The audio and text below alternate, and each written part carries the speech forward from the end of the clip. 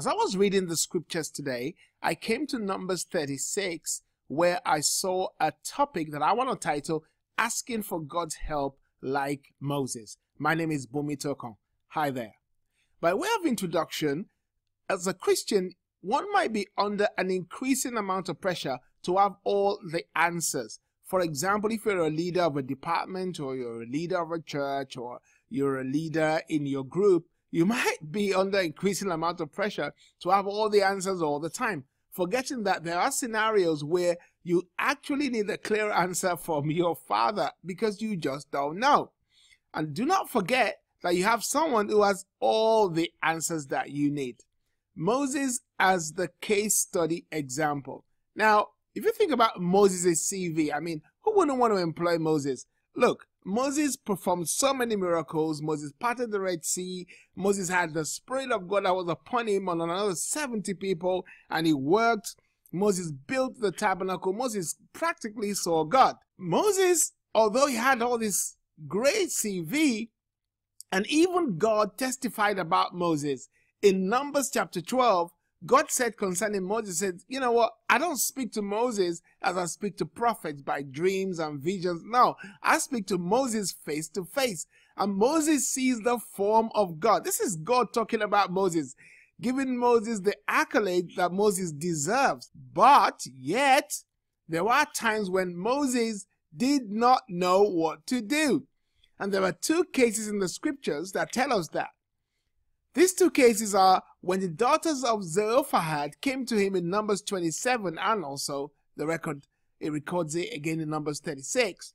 They came to him because they were at loss because they were from the tribe of Manasseh and if they married, their inheritance will have to go to whoever they married. And there was the law about keeping your inheritance in your family. So when they came to to Moses to ask, okay, Moses, here's the scenario. We are all women here. When we get married, the men are going to just take our inheritance if we marry somebody outside our clan. So what should we do? Moses didn't have a clue what to do. The Bible clearly tells us that Moses had to wait a while, go ask God, and God gave him the answer that he needed as to move forward. And the answer was that, yeah, Zelophehad daughters could actually marry somebody from their clan so that they can keep their inheritance. Again, we find the man who worked on the Sabbath day in Numbers 15. Here's a guy who was gathering sticks on the Sabbath day against the law of God. Remember that the law was given to them when they came out of Egypt. And this is now the first day of the second month of the second year. That's where the numbers, the book of Numbers starts from. First day of the second year of, of the second month. Moses clearly didn't have a clue what to do about this guy. So they held him up until Moses had the answer from God. And God spoke to Moses telling him that, okay, the guys should be taken out. All right. So the community should actually stone him to death.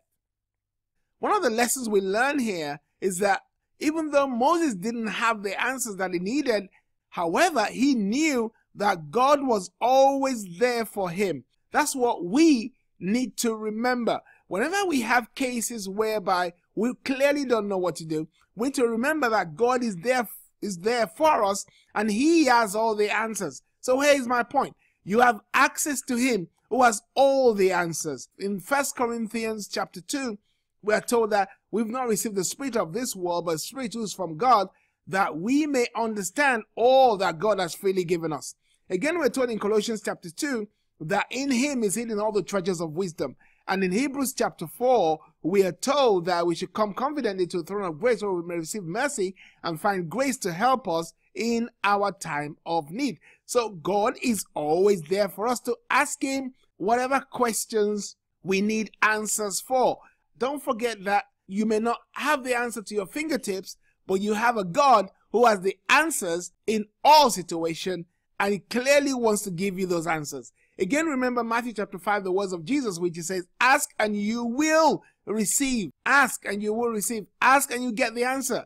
Perhaps it's something to do with buying a car or buying a house or going to a college or taking a job or not. Ask God, He'll tell you exactly what to do. All right. If you like this video, like it. If you like it, share it. If you like it, subscribe to my channel write a question or comment below. If you have a private message, then email me to admin at boomytokanministries.org. See you soon. God bless.